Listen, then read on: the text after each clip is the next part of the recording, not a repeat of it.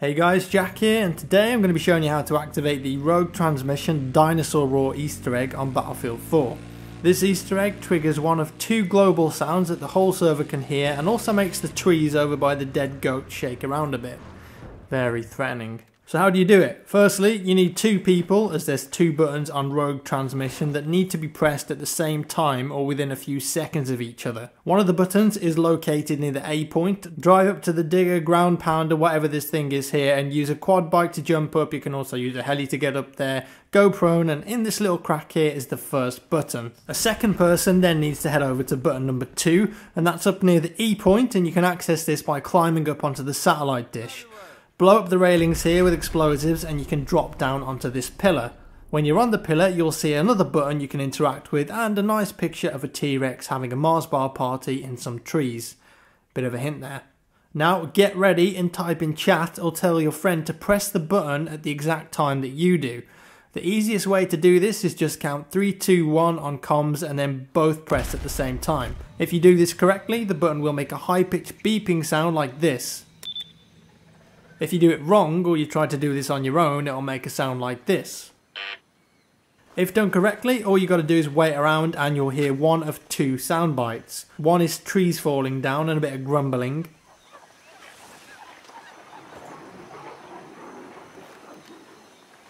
And the other one is trees falling down with a roar at the end as we can see here.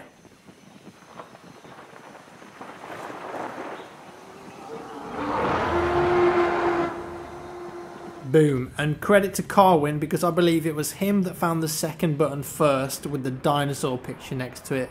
Good job, dude. And that's it. Just a little searching and we found it. Like I said at the start, this can trigger two different sound files and some people think that you've got to complete the Levolution and knock the cradle down to get this to happen. I found that that isn't true as you can see here and the clip that I played at the start of the video. I actually managed to trigger the roar here at the start of the round, no Levolution, we just restarted the map, went straight to the buttons and did it and then the sound file played with the roar. So rather than there be a certain specific way you've got to press the buttons or do it after the Levolution, rather I think it's just that there's a random chance for which sound file you're going to get.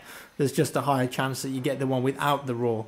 I also noticed that the sound and the trees moving loops, so even after it's happened for the first time, a couple of minutes later it might happen again, and it might be a different sound file and so on and so forth. It does seem very random. It just seems to keep repeating from what I could tell from my testing when we were messing around on the server. So, there we go guys, one easter egg down. Is this the big what the fuck easter egg Alexander Grondal talked about that he put into the game? It could be, but take a look at this from lead sound designer at DICE, Andreas Almström. He said the BF4 community is awesome, 250 pages on the BF forums and uncountable hours spent, to the easter egg I conceived is finally found.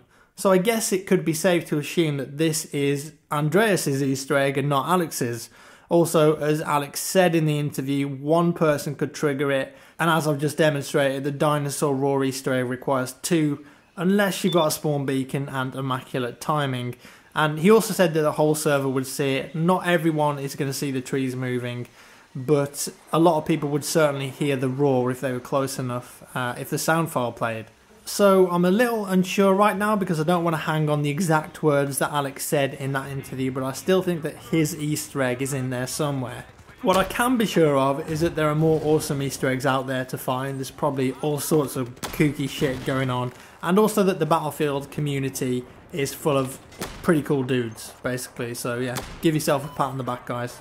And that's all for today. Make sure you try this Easter egg out for yourself. I'm sure there will be lots of people who still don't really know about this and they're going to be surprised when they hear the audio file play or if they see the trees moving. Certainly lots of potential for fun there, I think. Cheers for watching. See you in the next one.